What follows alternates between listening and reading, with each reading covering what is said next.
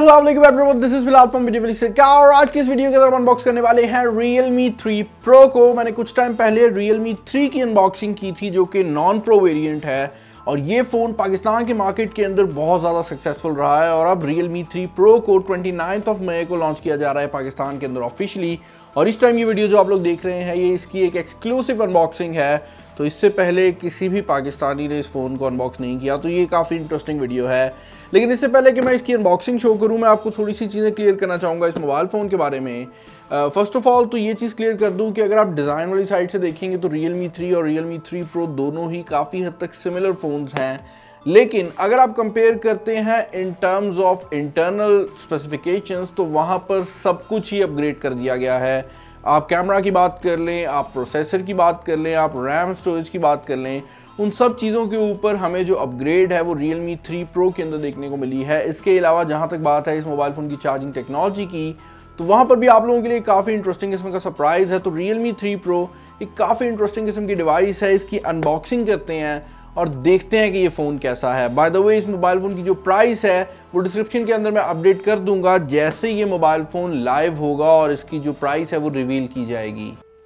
Okay okay भाई तो Realme 3 Pro का जो बॉक्स है, काफ़ी हद तक Realme 3 की तरह ही बनाया गया है। बस आपको यहाँ पर Pro लिखा हुआ मिल जाता है, जो कि इसको और Realme 3 को आपस में सेपरेट करते हैं।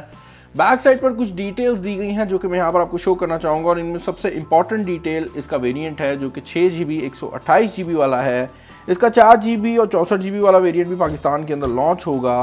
तो वो जो वेरिएंट है, उसकी और इस वेरिएंट की जो परफॉर्मेंस है मोर और लेस सेम होने वाली है, क्योंकि यहाँ पर जो बॉटल नेक है, वो काफ़ी हद तक आपका चिपसेट बनेगा। तो ज़्यादा डिफरेंस नहीं होगा, लेकिन 128 जीबी की जो इंटरनल स्टोरेज है, उसका डिफरेंस होगा। बॉक्स को ओपन करते साथ ही आपको आपका सिलिकन केस देखने को मिल जाता है, जो कि काफ़ी नॉर्मल सिलिकन केस है। उसके अलावा आपके पास कुछ पेपर वर्क है। फर्दर इन द बॉक्स आपको आपकी डिवाइस देखने को मिल जाती है। जिसको यहाँ पर रैपर से मैं रिमूव कर लेता हूँ और इसका जो स्टिकर है, उसको भी हम उतार लेते हैं और आप देख सकते हैं कि ये काफ़ी खूबसूरत लुकिंग डिवाइस है। इनफैक्ट यहाँ पर जो कलर है, वो पर्पल और ब्लैक दिया गया है। बैक साइड से ये देखने में काफ़ी हद तक जो रियल मी थ्री है सिंपल वाला उसकी तरह का ही फ़ोन लगता है तो आपको ज़्यादा डिफरेंसेस देखने को नहीं मिलते अगर आप इसको डिज़ाइन वाइज कंपेयर करेंगे। लेकिन अगर आप फ़ोन की बात करते हैं तो मैं इसको टर्न ऑन कर लेता हूँ और इंटरनली इसके अंदर काफ़ी ज़्यादा डिफरेंसेस हैं जिनके ऊपर हम आगे चलकर बात करते हैं। फर्दर इन द बॉक्स आपको जो चीज़ देखने को मिल जाती है, वो है आपका पावर ब्रेक और आप यहाँ पर अंदर देख सकते हैं कि ये ऑरेंज कलर के अंदर है, जिसका मतलब ये है कि ये वूक 3.0 को सपोर्ट करता है और इसकी जो टोटल आउटपुट रेटिंग है वो 20 वाट्स है तो 5 वोल्ट 4 एम्पेयर के ऊपर ये आपके मोबाइल फ़ोन को चार्ज कर देगा और ये काफ़ी इंटरेस्टिंग बात है क्योंकि जिस प्राइस टैग में ये फ़ोन आ रहे हैं नॉर्मली इस प्राइस टैग में आपको आउट ऑफ़ द बॉक्स कोई भी कंपनी क्विक चार्जेस प्रोवाइड नहीं कर रही तो ये एक काफ़ी अच्छा स्टेप है। अदर देन दैट आपको यहाँ पर आपकी केबल देखने को मिल जाती है, जो कि काफ़ी हद तक ओप्पो की जो ग्रीन केबल्स आती हैं वूक चार्जिंग वाली, उन्हीं की तरह बनाई गई है। ओके okay जी तो फ़ोन जो है, वो यहाँ पर हमारा टर्न ऑन तो हो गया है, मैं इसको सेटअप कर लेता हूँ और उसके बाद मिलते हैं। ओके okay जी तो फ़ोन ऑलमोस्ट सेटअप हो गया है। अब यहाँ पर जो इसके सिक्योरिटी के मैयर्स हैं, वो रहते हैं और हम यहाँ पर फेस आईडी को सिक्योरली रेडी कर रहे हैं और हमने रेस टू वेक को भी ऑन कर दिया है। फिंगरप्रिंट स्कैनर बैक पर मौजूद है।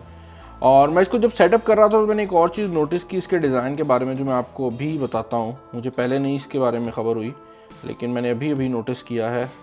और मुझे रियल मी थ्री और रियल मी थ्री प्रो के दरमियान में एक डिफरेंस देखने को मिला है, जो कि अगर आप दूर से देख रहे हैं, आपको नज़र नहीं आएगा, लेकिन अगर आप करीब से दोनों फ़ोन्स को कंपेयर करते हैं तो दोनों के डिज़ाइन में एक बहुत बड़ा मेजर डिफरेंस ये है कि रियल मी थ्री जो है ये गंदा काफ़ी हुआ हुआ है, इसको छोड़ दें। लेकिन ये रियल मी थ्री जो है, इसकी बैक काफ़ी हद तक प्लेन है, जबकि अगर आप थ्री प्रो की बात करते हैं तो इस पर लाइंस हैं जो कि ऊपर से नीचे जाती हैं। ये काफ़ी सेटल हैं, जो कि आपको नॉर्मली नज़र भी नहीं आएँगी।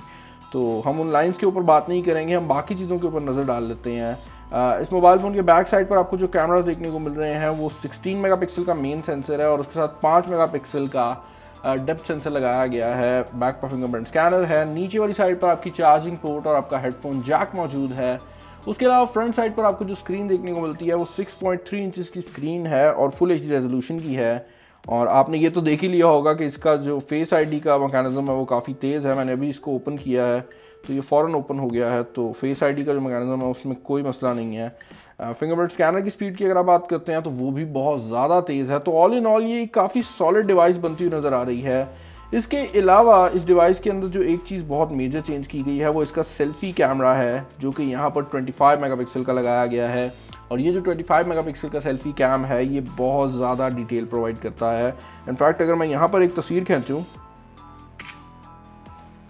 तो मैं आपको दिखा सकूँगा कि इसकी डिटेल का लेवल कितना है, ये लोडिंग होने में थोड़ा सा टाइम ले रहा है और आपने एक और चीज़ नोटिस की होगी कि इसने जब प्रोसेसिंग कर लिया तो इसने मेरे फेस को कट आउट करके थोड़ा सा ब्राइट कर दिया है, जबकि बैकग्राउंड जो है, उसकी लाइट को इसने थोड़ा सा कम कर दिया है क्योंकि मेरे बैक पर जो लाइट्स हैं वो मौजूद हैं। आप देख सकते हैं यहाँ पर जो डिटेल है वो काफ़ी ज़्यादा है तो आपको जो कैमरा वाला डिपार्टमेंट है, वो रियल मी थ्री प्रो के ऊपर बहुत अच्छा देखने को मिलने वाला है और जहाँ तक बात है स्पीड की तो यहाँ पर लगाया गया है स्नैपड्रैगन का सेवन टेन चिप सेट जिसका मतलब ये है कि स्पीड वाली साइड से तो आपको कोई मसला आ ही नहीं सकता, क्योंकि यही चिपसेट एग्जैक्टली यही चिपसेट लास्ट ईयर तक हमने 90 से वन लाख की डिवाइसेस के अंदर भी देखा है। तो ये जो मोबाइल फ़ोन है, अपने ट्राई स्टैक के अंदर काफ़ी हद तक किल करने वाला है। अब इस मोबाइल फ़ोन के ऊपर फोर्टनाइट भी सपोर्टेड है, जो कि एक ऐसी गेम है जो ज़्यादातर फ़ोन्स के ऊपर सपोर्टेड नहीं आती, और बड़ी एक्सक्लूसिव सी गेम है। तो उसको भी हम इस पर टेस्ट आउट करेंगे, और इसके रिलेटेड मैं और वीडियोज़ भी लेकर आने की कोशिश करूँगा। अगर आप चाहते हैं कि मैं इसको कंपेयर करूँ रियल मी थ्री के साथ, जो कि नॉर्मल वाला है, तब भी मुझे कमेंट्स में बता दीजिएगा। मुझे लगता है कोई इंटरेस्टिंग वीडियो बन जाएगी। अब डेफिनेटली ये दोनों डिफरेंट प्राइस टैग में हैं। तो कंपैरिजन तो नहीं होगा, वो थोड़ा सा ये हो जाएगा कि आपको फ़र्क पता लग जाएँगे दोनों फ़ोन्स के। तो अगर वो वीडियो आप लोग चाहते हैं, मुझे कमेंट्स में बता दीजिएगा। और इस मोबाइल फ़ोन के बारे में ओवरऑल आपके क्या ओपिनियंस हैं, मैं वो भी जानना चाहूँगा। कमेंट सेक्शन के अंदर।